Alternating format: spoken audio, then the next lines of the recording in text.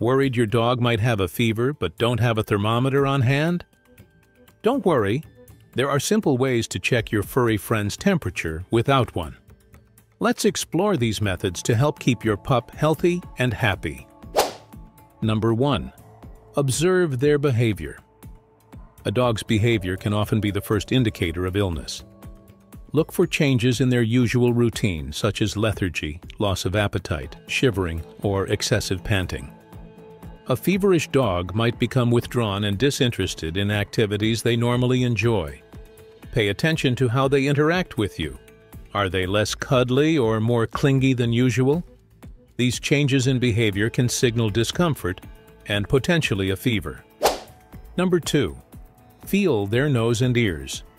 While not a definitive measure, a dog's nose and ears can offer clues about their temperature. Healthy dogs typically have cool, wet noses. A hot, dry nose can be a sign of fever. But keep in mind that a dry nose can also occur due to dehydration or dry weather. Similarly, feel your dog's ears.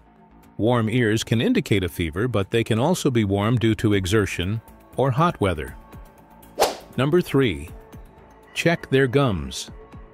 A healthy dog's gums should be moist and pink.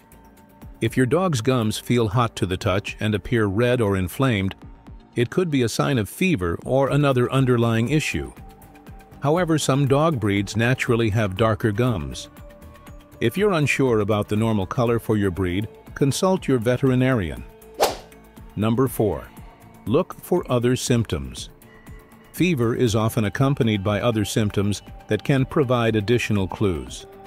These can include vomiting, diarrhea, coughing, sneezing, or watery eyes. Notice any changes in your dog's breathing patterns. They might breathe rapidly or shallowly if they're uncomfortable. Number 5. When in doubt, seek professional help.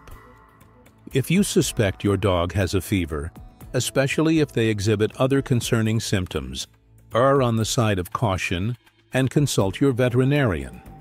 They can perform a proper temperature check and diagnose the underlying cause of the fever. Early diagnosis and treatment are crucial for your dog's well-being. Does your pet have any quirky habits or behaviors? Let us know in the comments section below. Also, don't forget to like and subscribe.